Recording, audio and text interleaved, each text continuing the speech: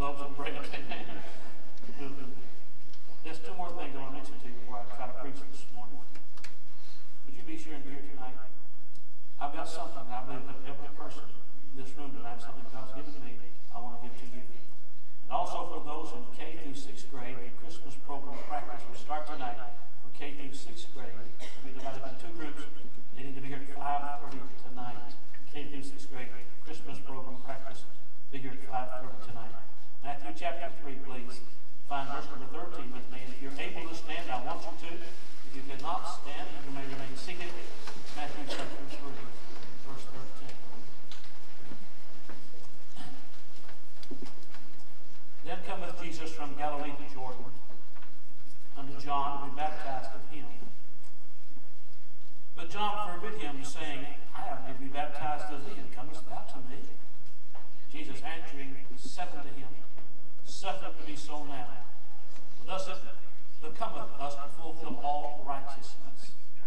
That he suffered. And Jesus, when he was baptized, went up straightway out of the water. And lo, the heavens were opened unto him, and he saw the Spirit of God descending like a dove and lightning upon him. And lo, a voice from heaven saying, This is my beloved Son, in whom I am well pleased. Father, would you please help me with the Holy Spirit's power this morning to preach the eternal truths of the Word of God? It's not my words that will help or convert the last, it's yours. So help me to be anointed this hour, to be a help and a blessing to your people. Thank you for them. Thank you for this special day. Deal with hearts and with lives to be changed for the cause of Christ. With thanksgiving, I pray. Amen. You can be seated, please. Can you hear in the back all right? Ron, can you can you hear on the left, Gene? Can you hear? Okay. You can too, that's great. I'm glad to hear. Yes, amen. Here is one of the places in the Bible where we see God in his triune form. We see God the Father speaking from heaven. We see God the Holy Spirit descending in the form of a dove. And we see God the Son in the water being baptized. So we have God in his triune form. But also, this is one case in the Bible, out of three times in the Bible, where God speaks with an audible voice from heaven about his Son. And every time that God speaks about his Son, all the way from heaven, here in this text, also in John chapter 12, and again in Matthew 17, he says basically the same thing. This is my beloved Son, in whom I am well pleased. Would you say those words with me? This is my beloved Son, in whom I am well pleased.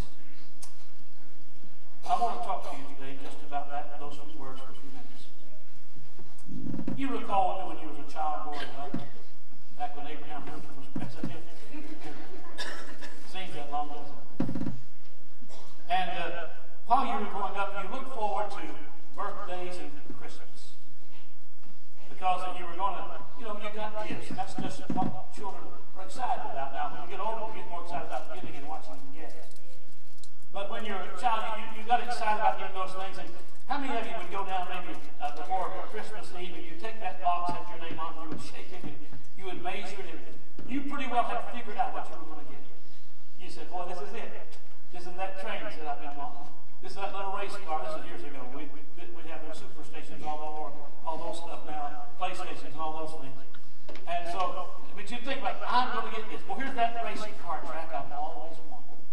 But you know you had to wait till the New Year's, or excuse me, Christmas Eve night or Christmas morning, and, and then you'd go down and, and all that excitement, you know, you couldn't sleep, you know, you, you couldn't rest because you were excited about what you was going to find when, when you opened that box. I mean, you, it just excited you. Now, uh, so those were things that excited. Do you recall that when you opened it? And you recall the joy of a gift that you anticipated? Now, there's sometimes no doubt you've been disappointed when you thought of a race car with a pair of socks. Can you remember those years? And all you had was a pair of socks? I can remember those years. I'm thankful those pair of socks, aren't you? And you were happy, but you looked up at mother and daddy, and there was something wrong with them. They were crying. And you said to them, what's wrong? And say, I'm just so happy. It didn't make sense to us, did it? When they were saying, "Ooh, listen, I'm just so happy. But now that you get older, you know exactly what they meant. Because now when your grandkids do those things, or your children do those things, and you see the joy that they, they are having, and you have the same expression your parents had, you said, I'm yes, I have.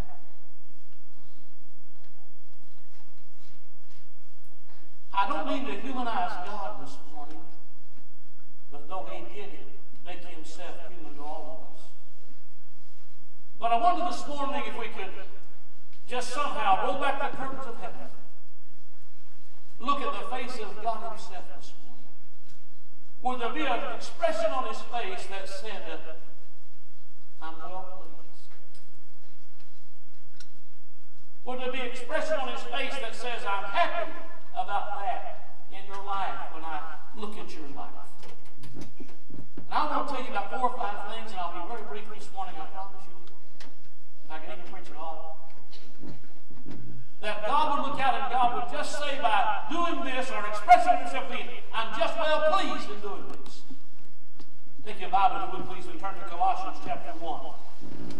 Colossians. I'm happy to turn to many places this morning. We found Galatians, Ephesians, Philippians, Colossians, chapter 1 will be just for a moment. I want to tell you that God is well pleased this morning. If you look on his face, in the way that he sent his son to earth for you. Colossians 1.19 talks about Jesus Christ when it says, For it pleased, do you see that? It pleased the Father, Colossians 1.19, it pleased the Father that him should all fullness dwell. When God brought his son to this world through the virgin birth, God looked at him and he said, It pleases me in my son all fullness dwells. Can I remind you of something that I believe you know to be true, and it is essential for heaven because if Jesus Christ did not come in the flesh, we don't have a Savior, ladies and gentlemen. If He's not God in the flesh, then we have no hope whatsoever. But can I tell you this morning that when God brought His Son in the world, He made Him fully God, but He made Him fully man just as well. Could I just give you two illustrations of that because I must go on to something else that isn't it unusual that you see God resting on a well in John chapter 4 because he's tired? But when a sinner came to him, he gave her the well of salvation for him. Isn't it amazing when the uh, disciples came to him during a storm and he was asleep because he was weary, but blessed be God. He got up and walked to the front of the ship and he ceased the storm because he's God. So God was pleased to give us his son that him all the fullness your Bible Isaiah chapter 53. This one may amaze you, or shock you, should I say. In Isaiah chapter 53. I want you to find this because I want to read it to us very slow this morning.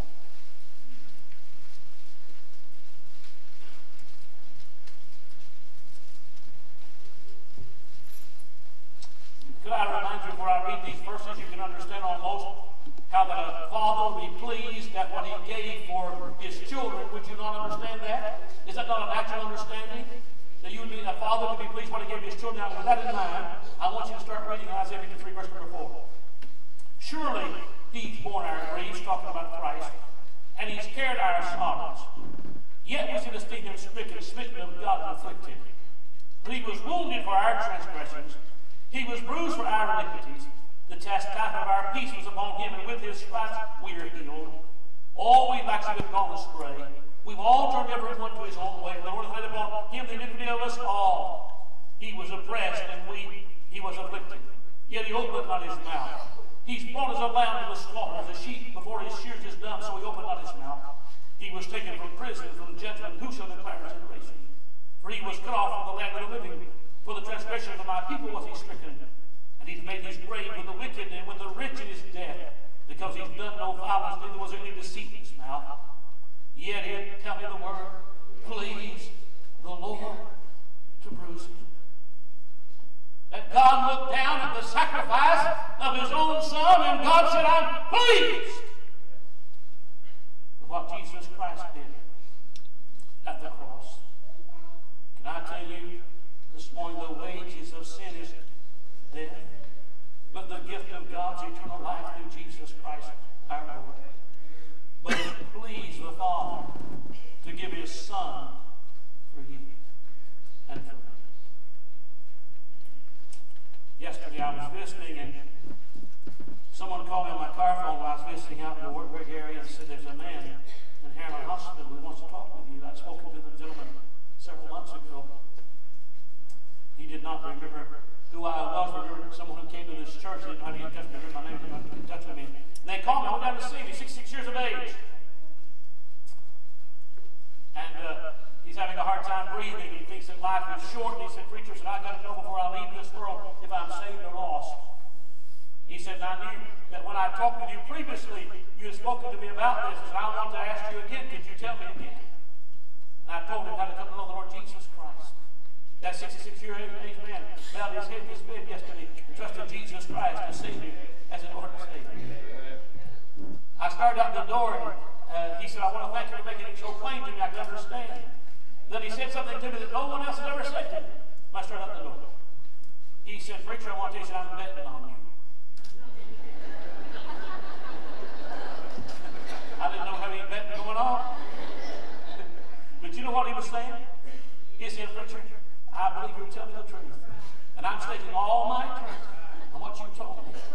And I want to tell you something this morning, folks. You can stake all your eternity on what God said right here. And I have. I placed all my hopes, all my future, all my eternity, because what God said in this blessed book about He was pleased to be bruised for me, and pleased to be bruised for you, and pleased the Father. I understand it. Could you look in the face of the Father this morning could you see him? He said, I'm pleased with a sacrifice my son made. There's a third thing I want you to see. I believe that God is pleased. When you look at his face, you see him almost smile when his children decide to trust him by faith. Remember the story of Solomon where God came to Solomon and said, Solomon, I'll give you anything you want, just ask me. And Solomon said, Lord, I don't want anything except an understanding heart, to be able to how to rule your children and how to be a good king. That's all I want. And the Bible says that the saying pleased God. He said, Solomon, you've not asked me, and I'm pleased. You didn't ask me for things. You didn't ask me for riches. But because you didn't ask those things, I'm going to give you everything you're ever going to need. I'm going to give you wisdom. I'm going to give you riches. I'm going to give you a kingdom. I'm going to give you an inheritance that's eternally forever. I'm going to give it to you. But said, I'm so pleased that Solomon didn't ask me things. He only wanted me. I'm going to tell you something. God's pleased, folks. When in your life you don't want things, you just want Him. When you don't want anything for yourself, you just want Him. God's pleased with that. That's in Hebrews chapter 11, verse number 6. Without faith, it's impossible to please God. He that cometh to God must believe He is. He's a rewarder of them that diligently seek Him. God's pleased when His children just have faith in the Lord. Our nation's in turmoil this morning over election.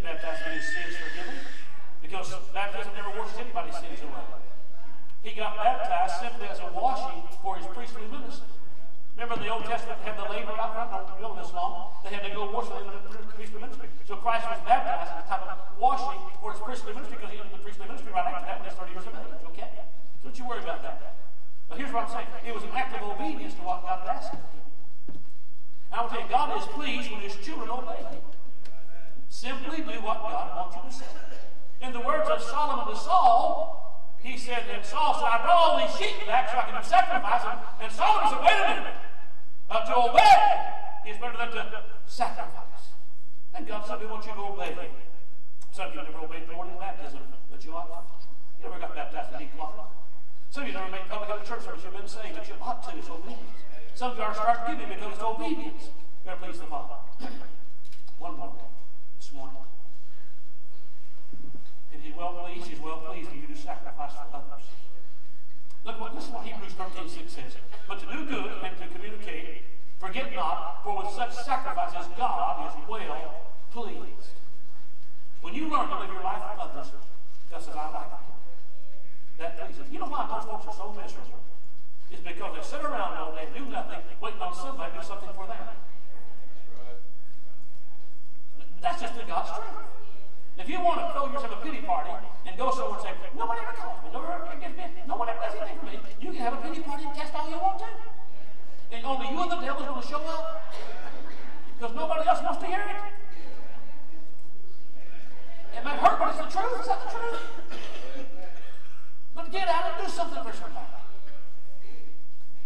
Such sacrifices God are well pleased. When you think of sacrifice, you must think of this day where men and families sacrifices. I can't imagine the price of y'all paid. I can never repay you. I can say thank you. I can respect you. Let tell you something. I don't have to have any, any military person to agree with me on, on anything. I can still respect them. I don't have to have someone have to agree with every crossing every T and dotting every I. I can still give them respect. And by the way, let me just say something while I'm here. We ought to respect our law officers as well. We ought to give them respect. They're not called on. I'm going to mention the names of people called on. It's so disrespectful. Did you know in the state of Tennessee that 1,291 individuals lives was given to Vietnam War? 42 of those 1,291 are still missing in action. Five Medal of Honor recipients in the state Tennessee. 58,191 individuals, men and women, gave their lives for us to enjoy today the freedom of this great nation. What a sacrifice.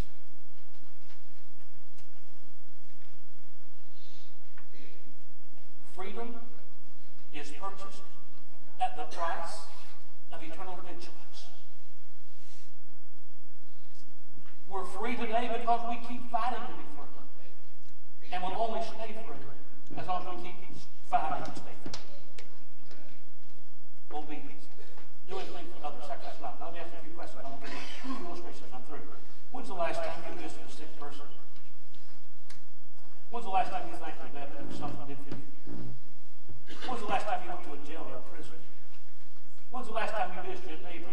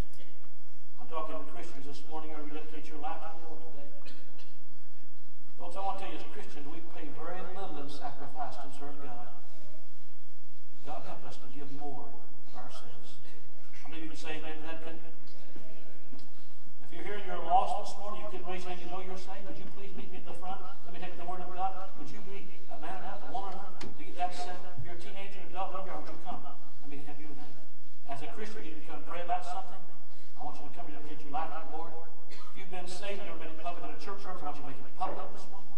You need to join this church, I want you to come this morning. That's something you ought to do. You got to do it this morning. You got to do it now.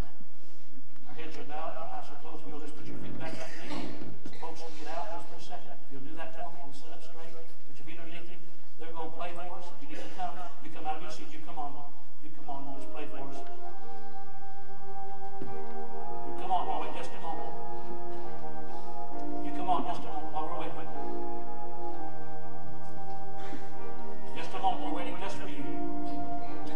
sure if you died, you'd go to heaven. You want to get that son in your heart and your life. There's folks here who've been saved and you've been talking about Christ has done for you. Maybe you need to get baptized this morning. I want you to come. You need to join. You're not with this church family. I want you to come. You come. We're going to stand and sing. And while we stand and sing, I want you to keep on coming. You keep on going while we stand, while we sing.